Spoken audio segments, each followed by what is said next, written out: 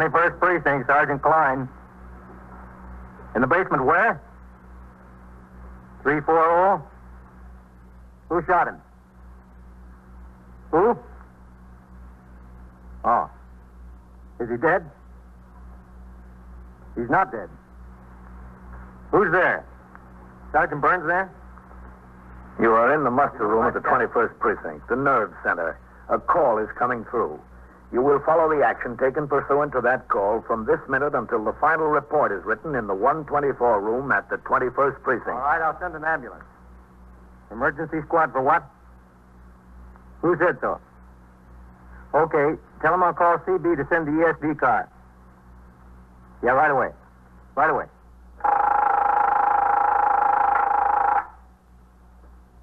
Twenty-first precinct. It's just lines on a map of the city of New York. Most of the 173,000 people wedged into the nine-tenths of a square mile between Fifth Avenue and the East River wouldn't know if you asked them that they lived or worked in the 21st. Whether they know it or not, the security of their persons, their homes, and their property is my job. My job and the job of the 160 patrolmen, 11 sergeants, and four lieutenants of whom I'm the boss. My name is Kennelly, Frank Kennelly. I'm captain in command of the 21st. What makes a city? Not buildings, not subways, not business. People make a city. From dawn to midnight, from midnight to dawn, the rich and the poor and the good and the bad pour their lives together and stir up the city, as in the 21st, even on a quiet night.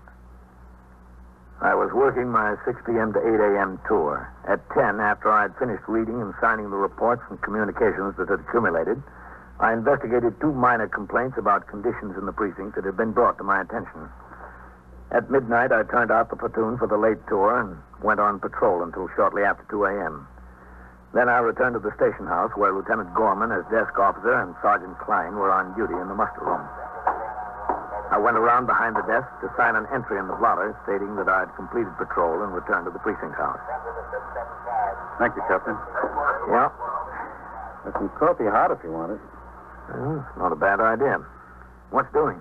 Nothing much, Captain. The hack driver turned in a woman's purse he found in the back of the cab. It had $62.08 in it. That's all. Any identification in it? No, sir. Just the money in a small change purse, First precinct, compact, a Sergeant handkerchief, and a pack of cigarettes. Nothing else. He thought he was a big hero. All right, 29. I told him you guys are supposed to look in the back seat of your hacks every time you discharge a passenger. Next time you get sent, set down to the hack bureau on a violation. Well, I'll get that coffee. Yes, sir. No, uh, Sergeant. Oh, yes, sir. All right, go ahead. Take the call. Yes, sir. 21st Precinct, Sergeant Klein. All right, 15. You take your meal period down. All right. Okay? Yes, sir, Captain. Uh, I had a communication from the Telegraph Bureau. They're interested in the QD 76 report dated last week. Car jumped the curb and knocked over a call box on Park Avenue. The driver didn't answer the summons in court, and they want to issue a warrant. Will you get it out? Yes, sir, but can I wait a few minutes? The trouble? I got a man on post six minutes late ringing in. Who's that? Patrolman Bevan, post number four, Captain. All right, go ahead. Yes, sir. When did he ring in last? 142, Captain, from box number 23, on time to the minute. Communications Bureau, Patrolman Thomas. This is Sergeant Klein, 21st Precinct. Yes, sir. Have 604 to call the 21st. 604, yes, sir. He's not taking his meal, is he? No, sir, he's not due for his meal until 3.30, 3.30 to 4. He's seven minutes late now. What's the trouble? Patrolman Bevan, post number four. He's seven minutes late ringing in. No kidding. He's been a good man, Captain. One of the best looks we got in here in that last bunch. Yes, I know. Did he ring in on time earlier? Right on time. 21st Precinct, Sergeant Klein. Box 31, Sergeant Burns. Oh, hello. It's Sergeant Burns. Listen, right over to post number four and see if you can locate Bevan. He's eight minutes late ringing in. Seven. Yeah. I rode by there about 20, 25 minutes ago. I saw him on post. Did you stop and talk to him? Yeah? You didn't get many calls, did you? No, not a thing from here. Okay, I'll get back to you. Well, he said he rode by there about 20 or 25 minutes ago and saw him. Is he riding over there now? Yes, sir. He's a good kid, that Bevan. Father was a lieutenant in Brooklyn East Borough headquarters. Retired a year or so ago. You know him, Captain? No, no. Get out that QD 76, Sergeant. Yes, sir. Right away. He's in the drawer, Captain.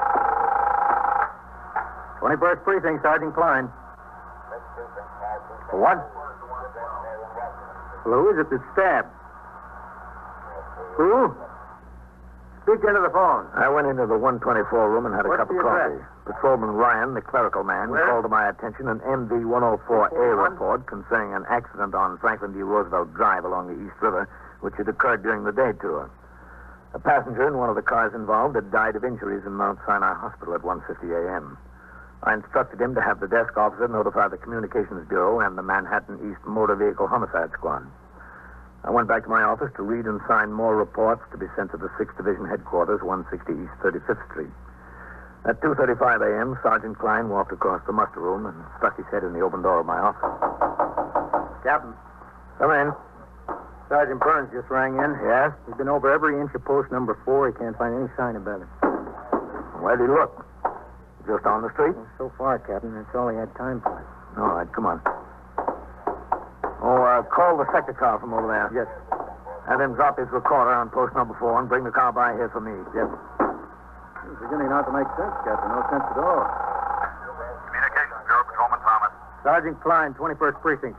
Have 608 call the 21st, will you? Yes, sir, 608, right away. All right, let's take a look at the map, Sergeant. That's pretty quiet post normally, Captain. Yeah. There's not much open around there this time of night. Three or four bars and grills, maybe. An all-night luncheonette here. There's another luncheonette here. It's open all night. That's real crazy, the whole thing. What time was Bevan due to ring in last? 212, Captain. He's almost a half hour late. I stood behind the desk for a few minutes and watched as two robbery, assault, and Section 1897 suspects were brought down by Lieutenant Matt King, commander of the 21st Detective Squad, for booking. The sector car came and Patrolman Farrell drove me to post number four. We located Sergeant Burns. He already had his operator, Patrolman Mercado, and Patrolman Eisman on the job, making a building-by-building search for Patrolman Bevan. Post number four consists of three square blocks between First and Second Avenues. As in many parts of New York, the complexion of the streets changed from building to building. An old law tenement might be flanked by a fine apartment house on one side and a garage on the other. We shook every door, went in every basement, inspected every courtyard, and climbed every roof. In this, we had assistance from the men on the adjacent posts, from the men on the ESD car patrolling the district, and from Lieutenant King and two of his detectives of the 21st Squad. By 3.18 a.m., there was still no sign of Patrolman Bevan. Beats me, Captain. Just beats the living daylights out of me. Yeah? Bevan was the kind of a guy that. Wait a minute. There's somebody walking. Where, Captain? Right Oh, there. yeah. Hey, mister. Mister, wait a minute. We want to talk to you. Oh, no, no, no. Have you been around here for the last hour? Uh, look, officer, all I had was two beers. That's all. Just two beers. You can't kill a man over two beers, can you? What's your name? My name, uh, my name is Joseph Lance Bowman Jr. Junior because I was named after my father had the same name, only senior. Two beers, and that's all. Look, uh, have you seen a policeman around here tonight? A policeman? Yeah, I've seen a cop around here. When? Right now, him. He's a cop. And, oh, look, the sergeant, too. Uh, two beers, Sergeant. You got my word of honor. My scout's sergeant. Where do you live? Joseph Lawrence Bolney, Jr. Two beers. No, no. You told us your name. Where do you live? There, right there. I almost made it, too, didn't I? Almost. Uh, listen, you won't tell Alma. Please don't tell Alma. All right, come along. Take me to jail, lock me up, and throw the two beers away, but don't tell Alma. Come along. That's all I have. You can ask anybody. Is uh, this the house? Yeah, this is it. 728. 728. Apartment 6D. You're not going to tell Alma. Got your keys? I think so. I think I got my keys, but please don't tell Alma. Uh, we'll let you tell her yourself. You make the stand? Oh, yeah, sure. Oh, oh, oh, thank you, thank you very much.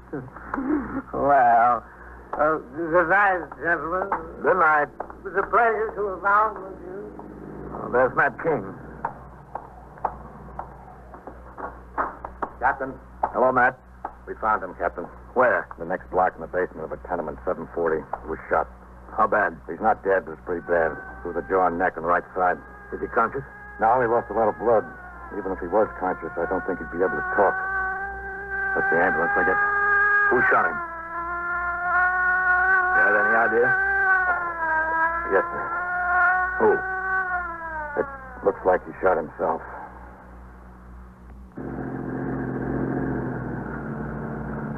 Lieutenant King drove us around to the house. It was an old law tenement building. The ambulance and the sector car were parked in front. It was 3.31 a.m. There was no crowd on the sidewalk, but tenants in night clothes were beginning to stick their heads out of the front windows. The first floor above the street was occupied by two business establishments, a beauty parlor and a radio repair shop. An iron gate and fence separated the basement stairs from the sidewalk. We went down. Go ahead, Captain. The basement's been vacant for about a year. Yeah. Be right with you, Captain. Whitey. All right. All right, be careful now. Yeah. Roll him on the stretcher. Just roll him on. All right, get a feet there. Okay. I got them. Easy now. Easy. Okay. All right, thanks. Thanks a lot. Doctor, I'm Captain Kennelly. Captain? How does it look? It went through the maxillary bone of the jaw, Captain. On the way, it probably hit a vein in the neck. Lost a lot of blood. How is he? Pretty bad. Did he shoot himself? The gun was fired at very close range, Captain. Not farther than this. His face and head are full of powder marks. I see. All right, easy with him. All right, lift together now. Yeah. Come on, lift. This way. Watch it. You've got very little clearance there. Easy, easy. What's the turn there. That's it. Hold that back end high going up. Captain, Yes, Matt? Whitey and Novak have been talking to the tenants. Yes? They can't find anybody who heard the shot. The next floor up, the stores, and the flats don't start until the second floor. Only one shot? Are you sure? That's all that was fired from a service gun, Captain. Is it possible he chased someone down here? Is it possible they had a gun and shot him? Yes, sir, it's possible. But not likely. No, sir. That shot was fired at very close range. There isn't any sign of another person being down here. Is that his flashlight there? Yeah, we're leaving it lay there for a while till we get some measurements. Was it turned on? It was on, Captain. The switch, that is. The light was broken when it dropped, apparently. The gun was on the floor right near him. How old is he, Captain? He's on his way, Captain. How old is he, Sergeant? 24, 25. Mm-hmm. Married? Yeah, yeah, he's married. A couple of young kids. Do you have any personal problems do you know of? Not that I know of, Lieutenant. He never spoke to me about any personal problems, man. Well, he's got a big personal problem now. Yes, he has. If he lives. I waited around the scene for a few more minutes while Lieutenant King and his detectives continued their investigation, and Sergeant Burns talked to Lieutenant Gorman and got information for his UF-6. He ordered the sector cars to resume patrol and released the ESD car to its regular duties. From a call box on the corner, I gave instructions to the desk officer to notify the division command regarding the occurrence. He told me that according to Patrolman Bevan's records, he resided in Jackson Heights, Queens. His wife's name, Marion. I instructed Lieutenant Gorman to call CD with a request that the 110th Precinct notify Patrolman Bevan was wounded and in Bellevue Hospital. Otherwise, things were still quiet in the precinct. Patrolman Mercado was assigned to post number four. Patrolman Farrell drove me downtown to Bellevue. I waited in the doctor's lounge for the surgeon. Dr. Lowfield? Yes, I'm Dr. Lowfield. Captain Kennelly, 21st Precinct. We met. Oh, oh, yes, Captain. Well, uh, what kind of a chance do you think he has? Fair, Captain, just fair. No better than that? Well, we tried to probe around in there when he came into emergency. We couldn't reach the slug. It's pretty deep. There's no telling where it went after it penetrated or what organs it hit. I sent him up to be x-rayed. That'll locate the slug, and I'll go in after it. Well, does it have to come out now? The sooner the better, Captain. What does surgery do to his chances, Doctor? Well, he's apparently a very healthy young man, physically. Under the circumstances, his pulse and respiration are both better than can be expected. I see. Does it uh, appear to you that he shot himself? The gun was fired at very close range. Powder mark? That's right, yes, sir. He uh, has a family, doesn't he? Yes, his wife's been notified. She's on her way. Should be here any minute. Uh, I'll have to talk to her and explain what I plan to do. I'll need her consent. No, I don't think there'll be any trouble about that, Doctor. Oh, excuse me. Sure. Dr. Lowfield? Yes. All right. Right there. Yes, we'll be out. Thank you. Mrs. Bevan. She's waiting out at the reception desk. All right. That way, Captain. Thank you.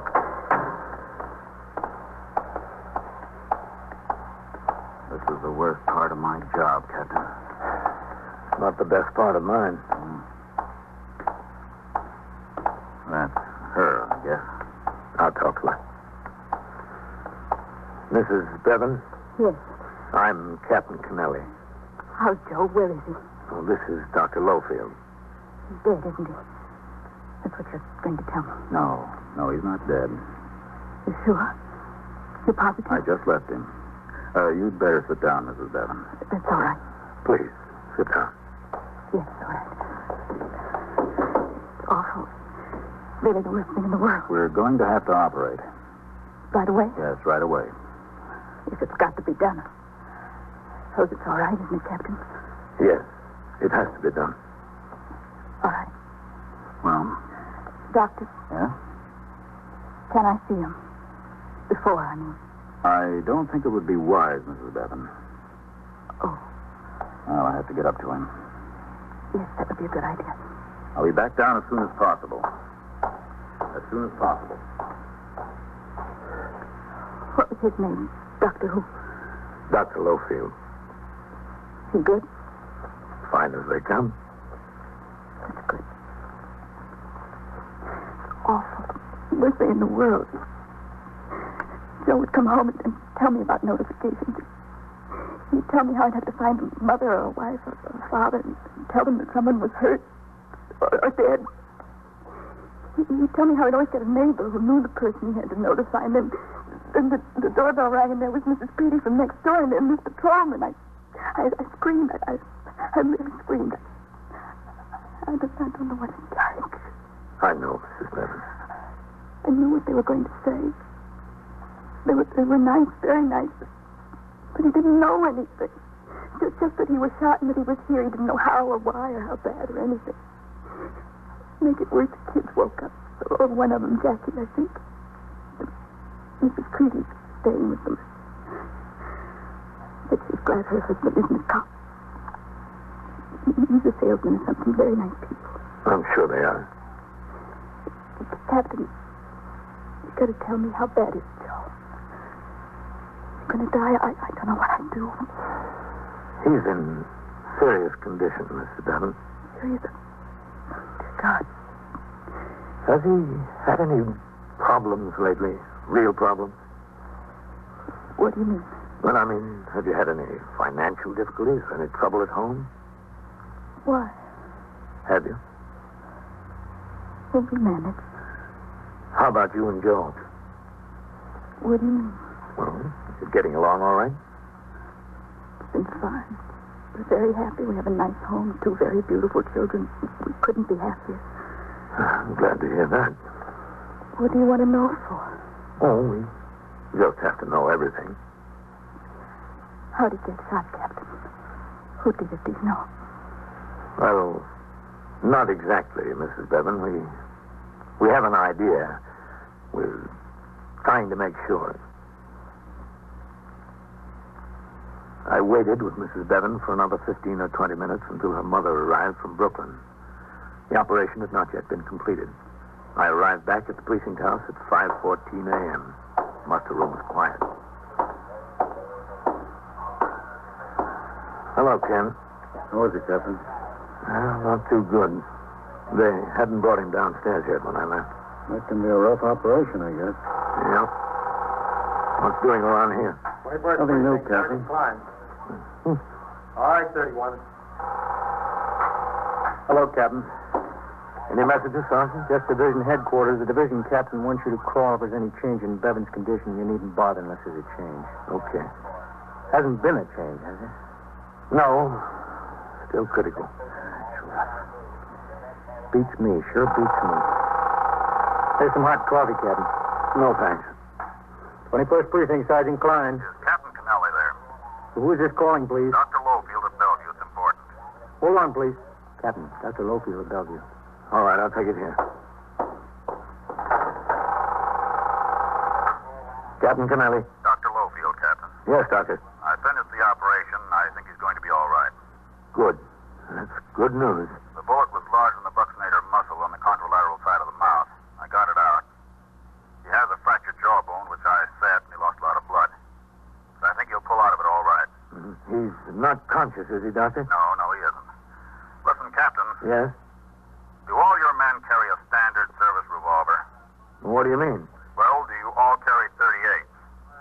Uniform, the men are required to carry a 38 special. Why? Is that what Patrolman Bevan had? Yes. What's your point? Well, uh, the slug I took out of him was a little beat up, but uh, it doesn't look like a 38 to me. Doesn't it? I'm no expert on guns, but, well, I used to fool around with them a little bit in the Army. It looks more like a 32 than a 38, Captain. Where is this slug? Well, I'm, I'm holding it, Captain. A detective from your precinct asked me to. Lieutenant King? Uh, yes, I uh, think, Lieutenant King. Well, hang on to it, Doctor. Just hang on to it. I will. I intend to. And thanks. Thanks a lot. All right. Bye, Doctor. Any change in his condition, Captain? There have been all kinds of changes. I'm going upstairs to see Lieutenant King.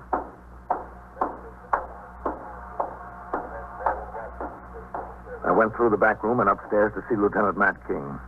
He telephoned to Dr. Lowfield. Detective Vitale was sent down to Bellevue to get the slug taken from Patrolman Bevan's jaw and take it to the police laboratory for a ballistics examination, along with Patrolman Bevan's service revolver. If the slug was fired from a 32 caliber gun, Patrolman Bevan could not have shot himself. By 8 a.m., there was no word on the ballistics examination. I turned out the platoon for the day tour, signed the blotter, left the precinct to go off duty. Ellen was awake and dressed when I got home. I talked with her while she had breakfast.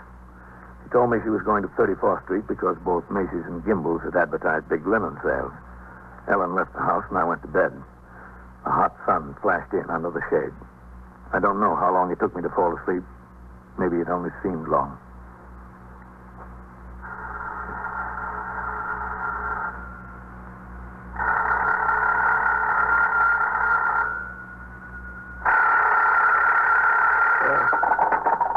Hello.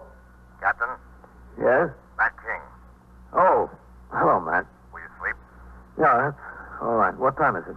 One o'clock, five minutes after. Oh, what have you got? The slug they took out of Bevan. Yes? It wasn't a 32, it was a 38. The doctor was wrong. Oh, But it wasn't fired from Bevan's service revolver. wasn't it? Not according to the report. Well, that's good news. I'm calling from home, too, Captain. I'm going in now. Vitale called me, said there was a man picked up on suspicion of burglary in the 34th precinct at 355 this morning. He was carrying a 38 Spanish make automatic. Yeah? One shot had been fired from it. How does it look? Well, I'm going out to the 34th to talk to this fella. Look, if there's anything to Matt, will you let the man on TS know so he can call me? I'll call you myself, Captain, as soon as I know anything. I got up and got dressed. After I had some coffee, I took my car over to Fred's to be washed and greased. I returned home close to four. Ellen was there. She told me Lieutenant King had phoned. I called him back. The man arrested in the 34th had a record of five arrests and two convictions for burglary. After questioning by Lieutenant King and Assistant District Attorney Louis Solent, he admitted shooting Patrolman Bevan. He was brought into the 21st and booked on charges of assault in Section 1897. The gun in his possession at the time of his arrest was sent to the police laboratory for ballistics examination to corroborate his statement. That night, en route to a meeting of the Captain's Endowment Association at the 71st Regiment Armory in Manhattan, I stopped in at Bellevue Hospital. Oh, hello, Captain. How is he, Mrs. Bevan? Better, much better. Well, that's good. He's been propped up since about 4 o'clock this afternoon. Of course, he can't talk, and it's hard to feed him much, but the doctor says he's doing fine, just fine. Uh, I was going out now so he could get some sleep. Well, then I won't stay. I oh, was that's just... all right. He's not asleep yet. I'm sure he'd want to see you. It, it, it's this way. You've been here since this morning? Oh, yes. My mother was here for a while, and then she went out to the house to take care of the kids. Mrs. Creedy couldn't stay all day. She has children of her own, you know. Uh, in here. Let me stick my head in and make sure he's not asleep. Joe? He's still up. Come on in. Guess who's here, Joe? Captain Kennelly. Hello, Joe. The doctor told me it'd be at least a week before he'd be able to talk again.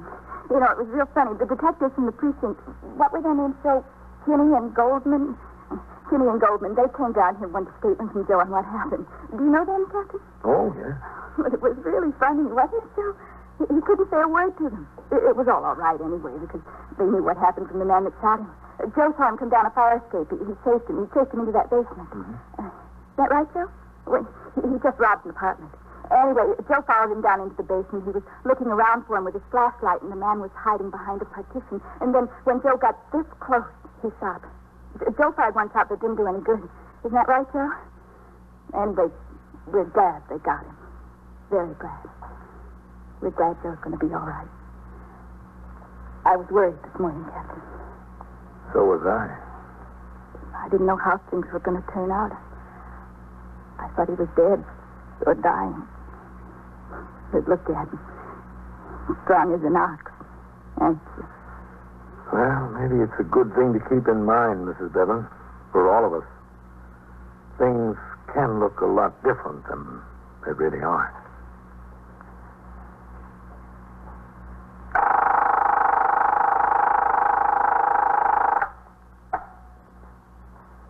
Twenty-first precinct, Sergeant Klein. I can hear you.